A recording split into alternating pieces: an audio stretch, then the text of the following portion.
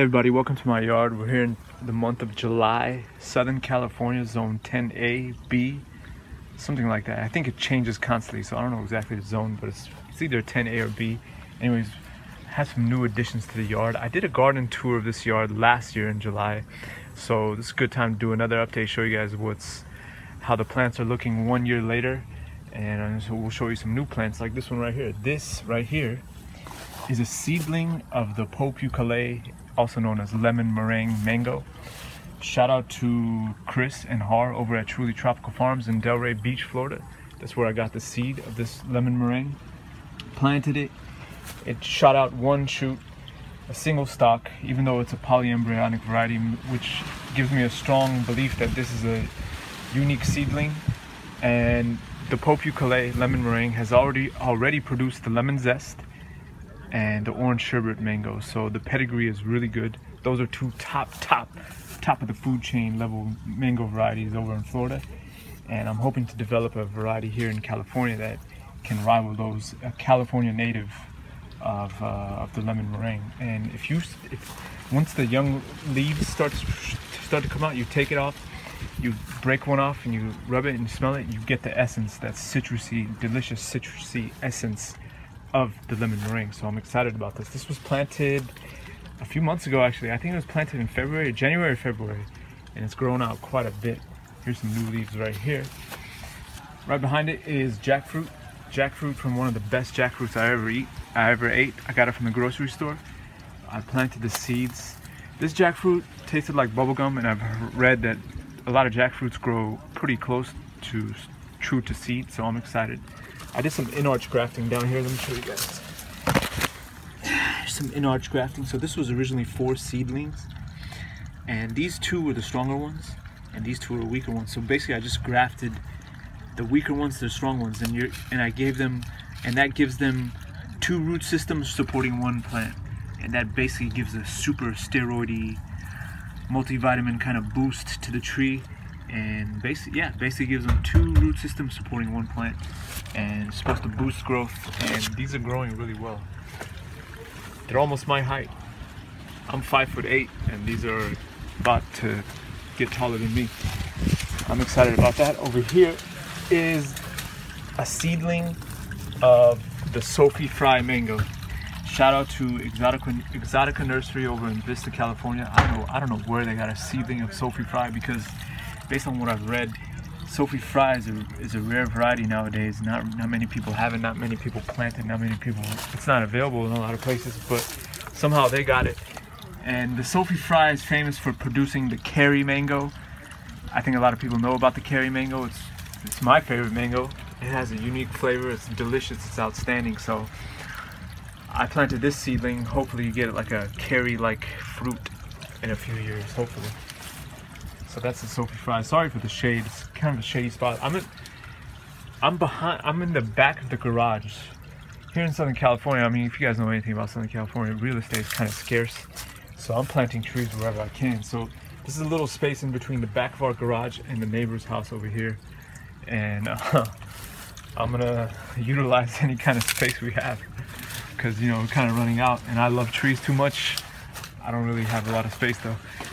This is a pomegranate seedling planted here last year. It was about half the height. It's doubled in height. There's a pomegranate up there. This variety came from Afghanistan. It's a, it's a cutting from Afghanistan or a seed from Afghanistan. And, and so it's an unknown variety. The fruit's really good. Really, really good. So, Yeah, the fruit's really, really good. Has a nice balance of tartness and sweetness. And the and the flesh is really deep, deep ruby, dark blood red uh, flesh, and it makes really good pomegranates. This was actually a cutting of a pomegranate over there. Well, in fact, let's just walk over there. I'll show you the pomegranate. But before that, here's some tomatoes. Second year plants from seeds of last year planted tomatoes. Uh, my mom planted all these. She took seeds from last year's tomatoes, planted them here. And we also have some, oh, here's some hot peppers here. Shout out to Toro Nursery over in uh, Torrance, California. That's where we got these pepper plants. Also where we got the tomatoes too. Shout out Toro Nursery. amazing, amazing nursery over in uh, Torrance, California. And they have an awesome product, like really different varieties of tomatoes. It's really cool. Let's walk over here. I'll show you the other big pomegranates. That pomegranate tree is probably the oldest tree in the whole uh, in the whole house. I think it's about 16, 17 years old. Heavy producer, makes a lot of pomegranates. Really delicious. Again, the seed came from Afghanistan, or the cutting came from, I forgot, it was one of the translator guys or a soldier brought it to us. And man, it's really good. I don't know the variety though, unfortunately. Uh, re yeah, really dark flesh, like blood red flesh. Excellent, like perfect balance of sweetness and tartness and it's really good. And we cut this tree back every year but it, it, just right now it's like 15 16 feet almost 20 feet tall really. Over here is uh, peach seed. Someone tossed a seed and a little peach grew up. I don't know why it's fruiting so fast because this this can't be more than a year old two year old. Really strange. I don't know why it's fruiting. I don't even know if it's a peach. I don't know stone fruit too well Anyways, this uh, this is pretty cool. This is uh, white sapote with a citrus graft on top. I grafted citrus to white sapote because they're both related. They're both part of the Rutaceae family, and they're distant relatives. So I want to see if they're graft compatible. So far, it seems like it's this citrus graft is taken. Strangely enough. Anyways, this is a white sapote seed, again with citrus grafted onto it. This is probably a, uh, I think it's a blood orange or a Satsuma mandarin. Let me show you some, got some leaves popping through the tape. Yeah, this is Casimiroa edulis seed with Citrus sinensis grafted on top of it. I'll put Latin names of all these plants uh, in the in the descriptions below so you guys know what it is. Let's walk over here. We got a improved improved Meyer lemon. It's another really old tree in the yard, probably like 10, at least 10 years old heavy, heavy, heavy producer of lemons. I mean, look, you see lemons in different stages. Here's a ripe lemon.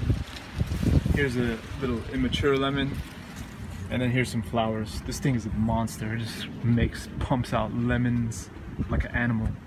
Over here is a uh, cherimoya tree.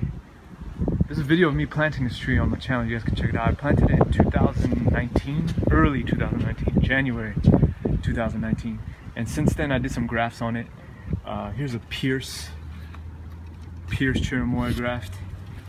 Here's a graft from a wild tree near my house that produces incredible cherimoyas. I don't know the name of the variety, but it's a, uh, from, it's a wild tree in a dirt lot somewhere. Here's a variety called Big Sister. It's grown out. Shout out to Margaret. Thank you for the scionwood. That's the Big Sister. Over here is the uh, Fino de Jete. Fino de Jete graft right there. And all this is Fino de Jete growth right there. Originally the tree was grafted to El Bumpo. It's an El Bumpo cherimoya. I haven't gotten any fruit off this tree yet, even though it flowered heavily. I, haven't done that hand pollination thing. I gotta learn that to do some hand pollination, get some fruit on here and, and taste test some of these. But uh, yeah, shout out to Margaret. Thanks for the Fino de Jete wood as well. Over here we got a sour orange. Another seed came from Afghanistan. I don't know the variety or I don't know what it um, what the name of the variety is, but it's a sour orange and it makes a good amount of fruit. Actually, I see one right here.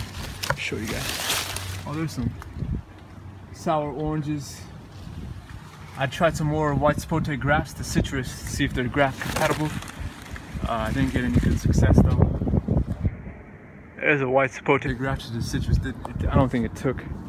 And the scionwood for that white sapote came from this tree. This, ladies and gentlemen, is a Suebelle white sapote. Uh, monstrous grower. It's like 16 feet tall. We cut it back. We pruned this tree heavily and it still wants to grow like a monster. And it's this year, just like last year's production is ridiculous. Check it out. Look at all that fruit.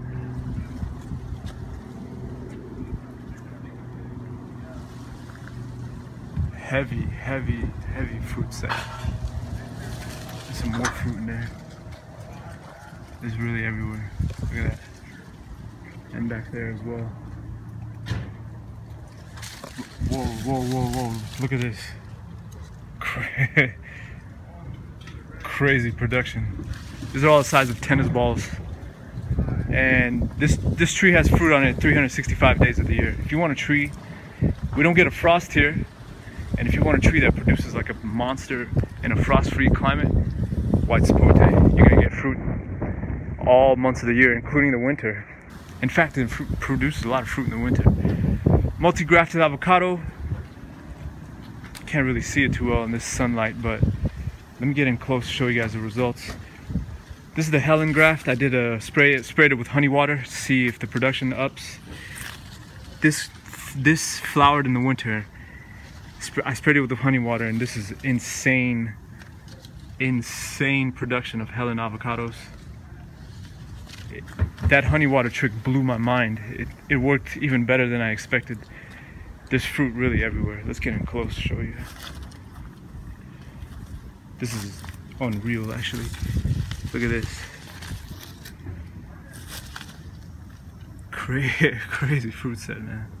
Especially for a winter flowering, variety that flowers in the winter, ridiculous. This is the little Cado, the little sport Wurtz, aka Little Cado avocado tree, the one that's eight years old and three feet tall. It's still really tiny, this little squirt. Grafted some different varieties to it. But this thing made fruit as well. Let's take a look. There's Some fruit here somewhere. Oh, here's some. Here's a little, little Cado, immature. It's gonna get really big. Little Cado refers to the size of the tree, not the fruit, because the fruit gets bigger than the size of a lot of the Hass avocados at the store. Here's another one, immature. Unknown mango. I wish I knew the varieties here. Unknown mango. It's an Indian type. My friend gave it to me. He says it's really good. And it, if you do that leaf smell test, it does smell really promising. You crush up the leaves, it smells spicy. Has a spicy Indian kind of resinous smell to it. I haven't gotten any fruit off it yet. This is the second year in the ground. Jackfruits from two of my favorite jackfruits that I bought from the grocery store. Planted them right next to each other. These are seeds. And this is their second year in the ground. These were actually planted 2018 and um, I haven't gotten any fruit or anything yet, but it's growing. It's growing. It's doing its thing. Here's the Hass avocado grafted to the little Cado thing. And again, yes, I did do that. I did do that honey honey test, the honey spray. And look at this. Are you kidding me? Look at this. Look at all that. Ridiculous production, man. That honey water trick works. Crazy good production. Look at that. Insane. Over there are some different grafts on this. Uh, it's the multi-grafted trees. Like uh, up there is Pinkerton. Next to it is a Mexicola. Right behind is Nimlioh. This is a Nabal, Nabal avocado. It actually made fruit. Nabal is hard to get fruit. But uh, the honey water trick worked on that as well. Persimmon tree. Actually, you know, I think this persimmon tree is the oldest in the yard. This one has been here for at least 20 years. This is the Fuyu persimmon. Heavy, heavy producer every year.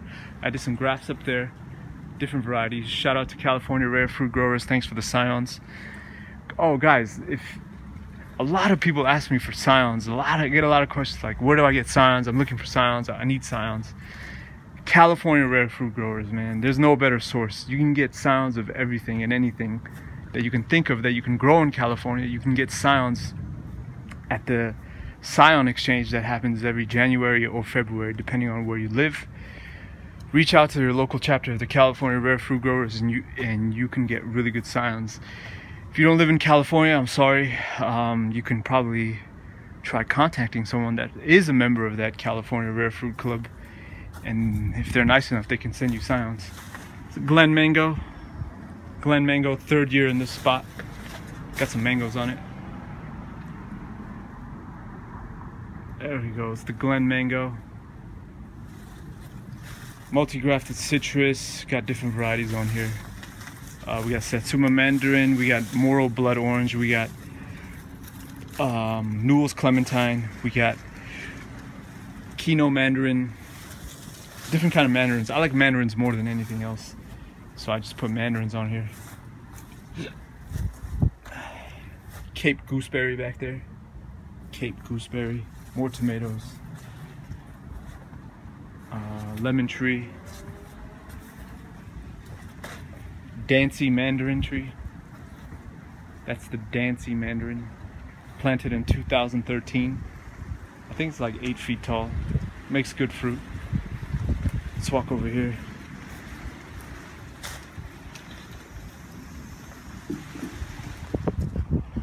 All right, here in the front yard, okay, we got Pakistan mulberry planted in October 2017, and this has grown more aggressively than any other tree I've ever had in my life.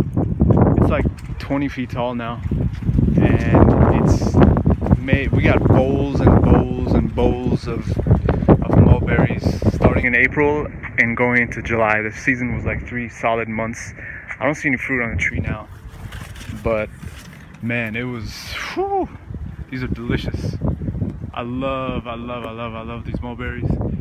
It's the Pakistan mulberry, and uh, I'm gonna have to prune it back because we're here in the median the sidewalk. Yes, I plant trees in the median sidewalk. Yes, the tree obsession is real. I can't help myself. Over here is Suriname cherry and cherry of the Rio Grande, Eugenia uniflora, Eugenia involucrata, and right back there is another Suriname cherry, Eugenia uniflora. Shout out to Exotica Nursery, Vista, California for that one. Shout out to Laguna Hills Nursery in in Tustin, California, or Anaheim, California, for this these two plants. Guys, if you want some real deep gardening knowledge, knowledge about how to grow plants out here in California, subscribe to Laguna Hills Nursery channel. I'll, I'll put their description below. Shout out to Gary Matsuoka. That guy has gardening knowledge going back 40, 50 years. He's been growing plants here, especially fruit trees, in this climate for the last 40 years. He's the man. I've learned so much watching his channel, and you guys can check it out if you want. It's a reed avocado planted in 2014, 15, I think. Now it's like 10 feet tall. Insane production, heavy production, but since it's on the sidewalk, this has become a neighborhood tree, meaning people from the neighborhood help themselves to the fruit. I can't stop them. There's crazy fruit set all over this tree. Satsuma mandarin planted the same day as this reed avocado, but it's kind of kind of remain a little dwarf little guy. We get a good amount of fruit on it though. So this is like it's six year in the ground. It has a really thick trunk. It's pretty interesting to see. Thick trunk. but the tree is kind of small. Over here, Vernon White Sapote. Uh, planted 2015, I think. So it's fifth year in the ground. Another beast of a producer. I mean, really insane production. Crazy good fruit set different stages. Here's some smaller fruit. This fruit is about to be ready in a few days, weeks. Here's more. Yeah, I mean, if you guys can grow this and you want a fruit tree that produces heavily, white sapote is the way to go. There's fruit all over the place. Oh, there's some more.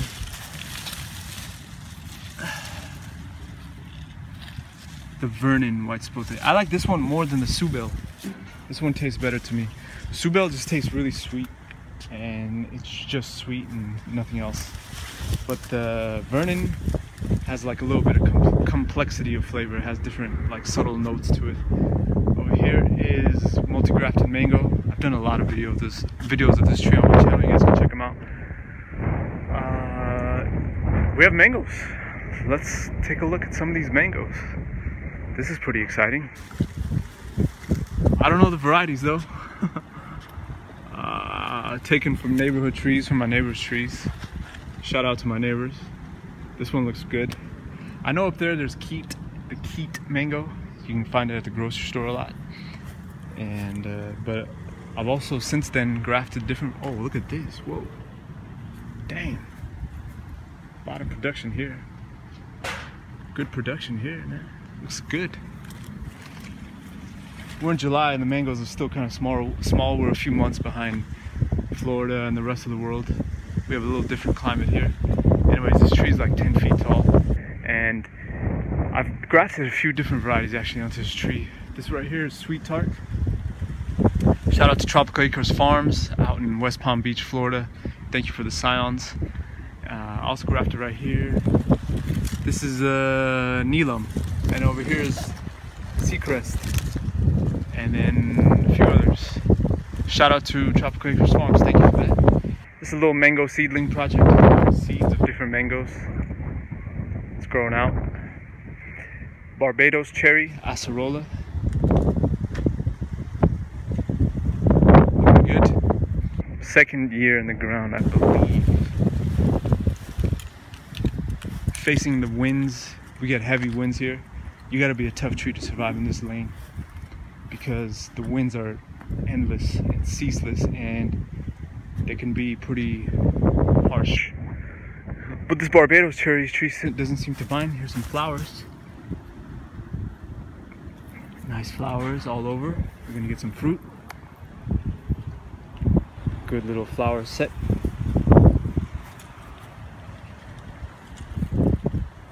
Looking nice. And then this, the latest tree I planted, mango, Manila mango, came in a 15 gallon pot. I planted it a few months ago and it's shockingly really nice new leaves leaf uh, growth a lot of nice new leaf growth. I, I tipped this tree back heavily. I pruned it back. It was about twice this size and I cut it way back and now, now we have nice low branching structure which is what I really want. I want a complex low branching structure and you achieve that by pruning like a pruning the tree back like that. There it is. All right folks that's my yard. If you have any questions let me know. If you have any comments I'd love to hear your comments. Oh I forgot to talk about this. This is a reed avocado. Here's a reed. Reed is part of the multi-grafted avocado tree. Here's some fruit that I put in bags so animals don't eat it. But whoa a lot of fruit. A lot of fruit on this reed graft. A lot of fruit Let me zoom out so you can see the whole thing. That's the reed. So yeah, that's my yard, folks. If you have any questions, again, I'd love to hear your comments. As always, like, subscribe, and let me know how your garden is doing as well. Thanks. Bye.